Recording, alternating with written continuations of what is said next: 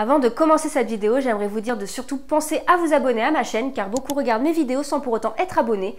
Et si vous le faisiez, ça m'aiderait beaucoup et je vous dis un grand merci d'avance. Hey, comment ça va? Bienvenue sur ma chaîne Les Objets de Bélouche.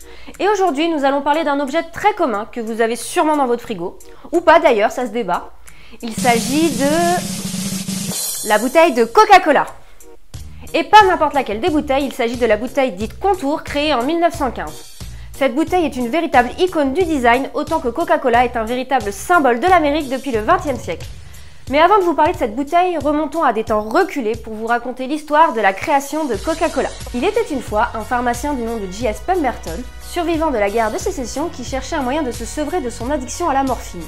Dans son petit laboratoire de Columbus, il créa une recette à base de feuilles de coca, de noix de cola, de damania et d'alcool en 1885. Cette recette était inspirée de la recette du vin Mariani à base de Bordeaux et de feuilles de coca créée par le chimiste corse du même nom en 1863. Vous l'avez compris, à l'époque, Coca-Cola était une boisson alcoolisée et contenait même de la cocaïne, jusqu'à 11 grammes par verre. À l'époque, quand on invitait quelqu'un à boire un verre, on passait pas le même genre de soirée. Coca-Cola devient une boisson non alcoolisée à partir de 1886 lorsque le maire d'Atlanta, ville dans laquelle s'est installée la J.S. Pemberton Company, décide d'une interdiction de l'alcool.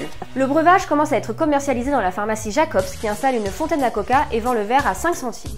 Coca-Cola devient une boisson médicinale, stimulante et fortifiante, remède à de nombreux maux, même l'impuissance, faite à base de sirop et d'eau gazeuse. Elle s'adressait particulièrement aux travailleurs qui cherchaient quelque chose pour affronter des journées de travail de plus en plus longues.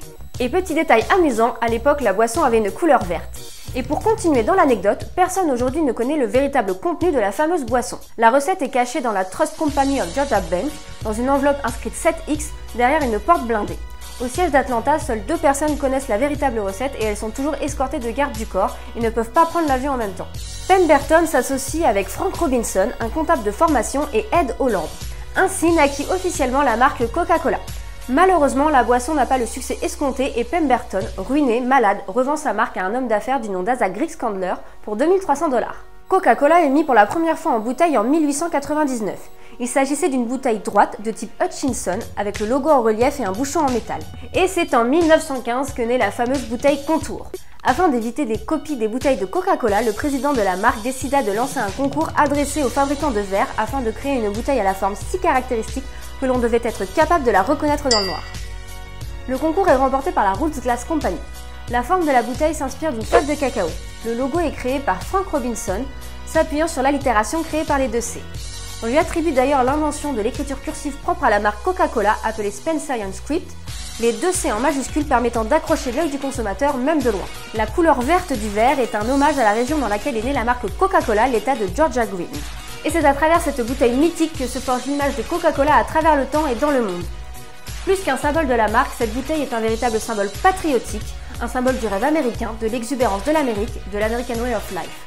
En 1949, 99% des Américains sont capables de reconnaître une bouteille de Coca-Cola même sans l'étiquette. Et en 1960, cette bouteille est l'un des rares emballages à être enregistré comme marque à l'US Office. En 1925, elle a eu plusieurs surnoms, dont Coke Bottle, Skirt, en référence aux formes des jupes de l'époque, ou encore Mac West. Cette même année, la revue française La Mode la surnomme pour la première fois Contour. Elle a été également liée à la Seconde Guerre mondiale puisque la marque a décidé d'offrir à chaque soldat une bouteille de Coca-Cola pour 5 centimes. Le breuvage étant considéré comme un remontant, il a été exclu du rationnement en 1942. Son design inimitable a inspiré de nombreux artistes tout au long du XXe siècle. Elle apparaît dans les cinémas hollywoodiens des années 30 aux côtés d'acteurs mythiques comme Gary Grant ou Greta Garbo. Elle apparaît pour la première fois en peinture en 1943 dans une toile de Dali intitulée Rêve d'Amérique, aux côtés d'autres symboles de l'Amérique comme le football ou la tache noire qui serait une référence au problème racial des États-Unis à l'époque et également dans l'œuvre d'Andy Warhol où elle apparaît en accumulation comme un symbole esthétique de la démocratie américaine. Elle a été également habillée plusieurs fois lors d'occasions particulières par des couturiers de renom comme Karl Lagerfeld, Matthew Williamson ou encore Marc Jacobs. Voilà, c'est la fin de cette vidéo sur cet objet du quotidien qui pourtant renferme une grande histoire. J'espère qu'elle vous aura plu et qu'elle vous aura appris quelque chose. Si c'est le cas, n'hésitez pas à liker, commenter, partager et surtout à vous abonner, c'est le plus important. Moi, pendant ce temps-là, je vous dis au revoir et à la prochaine pour une autre vidéo. Ciao ciao